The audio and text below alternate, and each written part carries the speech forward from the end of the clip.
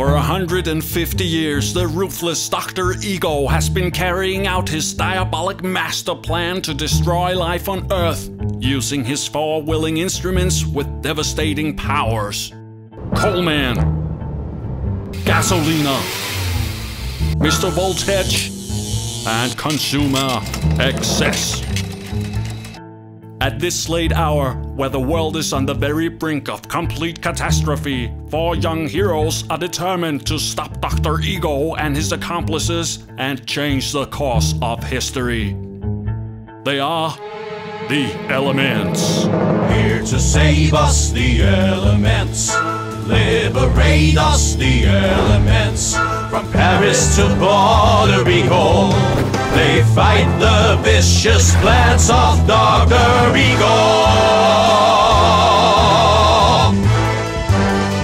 Elements. Meanwhile, in Dr. Ego's massively coal-heated, heavily air-conditioned, fuel-consuming, power-shopping, promoting, carbon dioxide-emitting, super-secret hideout, Dr. Ego and his four murky henchmen, anchored by the recent humiliation, are planning to defeat our four young heroes, the elements, once and for all, using the cunning mastermind's latest devilish invention. The Paramount Public Opinion Distortion and Confusion Data Processor, with the monstrous ability to distort and confuse the world's public opinion in their favor, settling for inadequate responses to the apocalyptic threat from Dr. Ego and his fatal master plan, and thus giving the global climate one deadly blow. Will they succeed? Not if you ask the elements.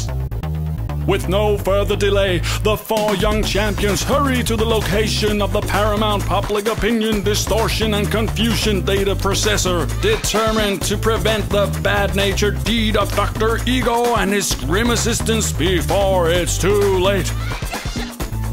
Just in time, elements!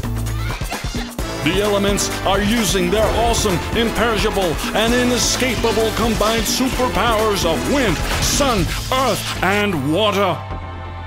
Good job, elements! But wait! The villains are on their feet again! Good grief! Dr. Ego has pulled out the Extreme Sense Insight and Compassion Annihilation Appliance. Is this the end of the element's quest to save the world? But what is this? The Extreme Sanity Insight and Compassion Annihilation Appliance didn't work. It was another flaw for Dr. Ego. That makes our four young idols the victors.